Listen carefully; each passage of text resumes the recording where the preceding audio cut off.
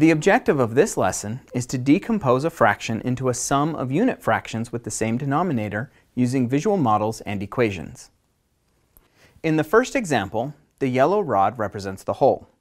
Each white rod represents one-fifth of the whole.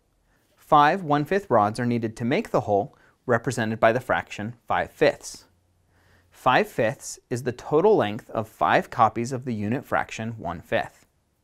In the next example, the orange rod represents the whole. Each red rod represents one-fifth of the whole.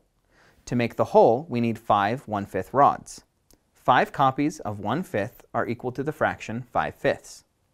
Notice that in each of the previous examples, different length rods were used to represent one-fifth, because the fractional part is always in relation to the size of the whole. Each scenario uses a different sized whole, making each one-fifth part a different size. If we were to create a model of 5 fifths from each example, it might look like this. Notice each part of the model is labeled with its unit fraction, in this case 1 fifth. Remember, when working with unit fractions, the numerator is always 1, since we are representing one unit of the fraction. Our equation has five addends of 1 fifth.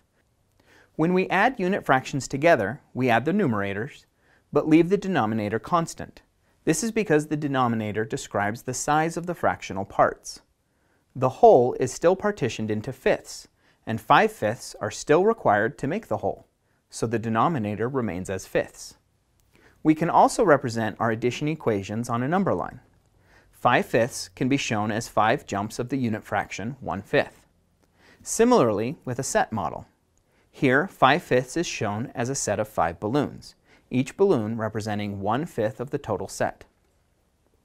Next, let's label the brown rod as the whole. Here we have partitioned the whole into 8 pieces. Each piece represents the unit fraction 1 eighth.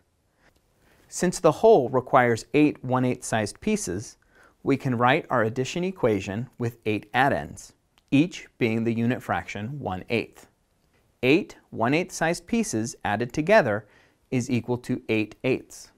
Similarly, 8 jumps on a number line, or 8 gifts in the set model. In the next example, we will only consider part of the whole, rather than the complete whole as we have been. Again, the brown rod represents the whole, but we will only consider 6 eighths of the whole, represented by 6 white rods, each 1 eighth of the whole. Similarly, 6 eighths is shown as 6 jumps on the number line, or 6 out of 8 of the set of ice cream cones. Fractions larger than a whole can also be decomposed into unit fractions and represented visually as well as in an equation. Let's look at 7 fourths. Here the brown rod represents the whole. The whole can be partitioned into four equal parts, each representing a fourth of the whole. Since seven parts are needed, the fraction is larger than the whole, and additional parts extend beyond the whole.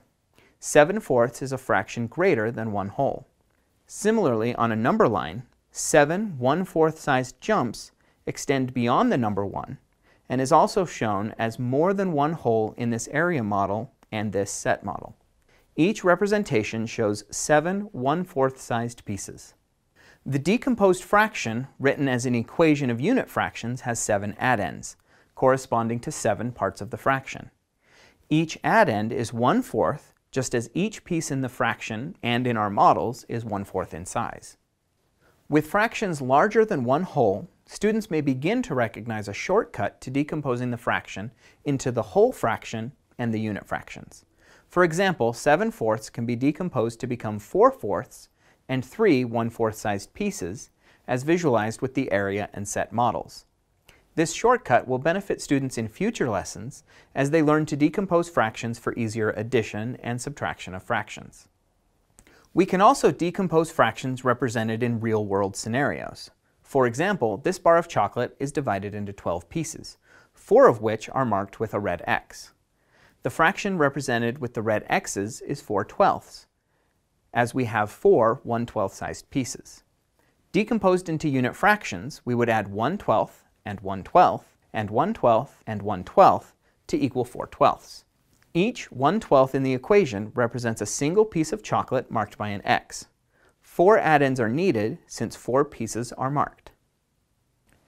The objective for this lesson was to decompose fractions into a sum of unit fractions with the same denominator.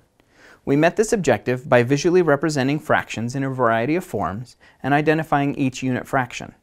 We then created addition equations to represent the unit fractions created from decomposing the original fraction.